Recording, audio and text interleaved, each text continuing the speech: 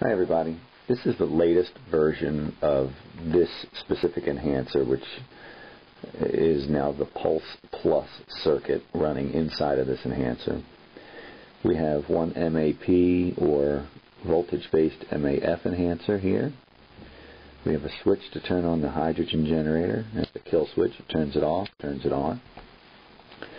We have two O2 sensor enhancers and these are active circuits. These are not just voltage adders. They sense the incoming pulse from the O2 sensor and they uh, process the signal and output the proper voltage accordingly. So here if we turn it to 0.1 volt,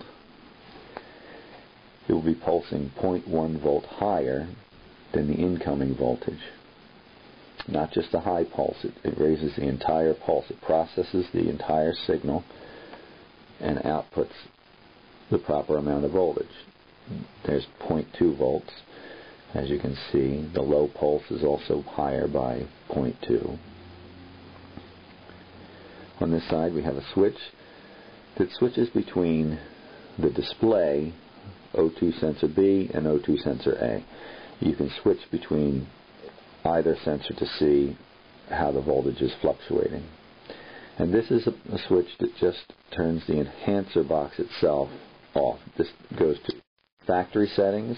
There's no display. It's at factory settings. You turn it on, and the enhancer is now working.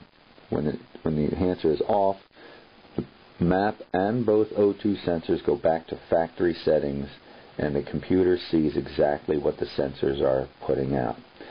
When the enhancer is on, the computer sees the enhanced settings. And that's it for this one.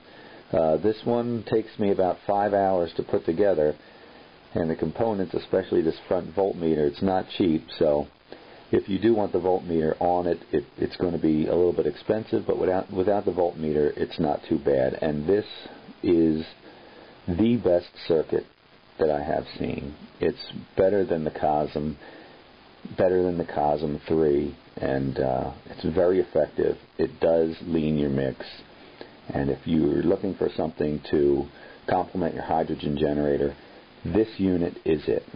Thank you very much.